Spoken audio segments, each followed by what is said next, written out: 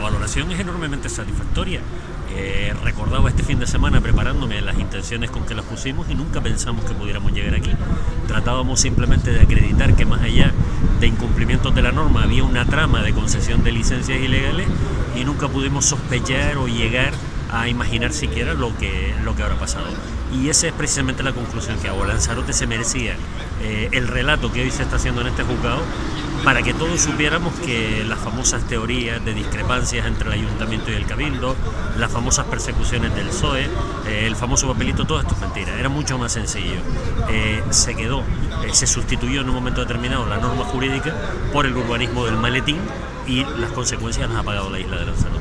Yo soy de los que siempre he defendido que para que la corrupción se dé hacen falta eh, de manera imprescindible tres patas. Una pata política, que hay que perseguirla, que hay que señalarla, que hay que machacarla, pero también hace falta una pata técnica, como hemos visto en este juicio, y hace falta, eh, básicamente, un empresario que esté dispuesto a pagar.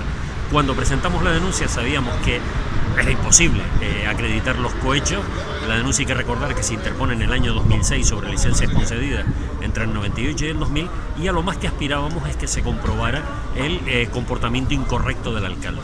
El hecho de que haya terminado de reconocer los cohechos y que incluso sepamos algunos de los que los han pagado, eh, indudablemente hubiéramos querido más, pero nos llena de satisfacción. Por ejemplo, a día de hoy podemos decir claramente, y desafiamos que nos respondan en los tribunales, que Juan Francisco Rosa, que Rafael Lazo, que el Grupo Martinón pagaron por obtener la licencia del puerto Marina Rubicón.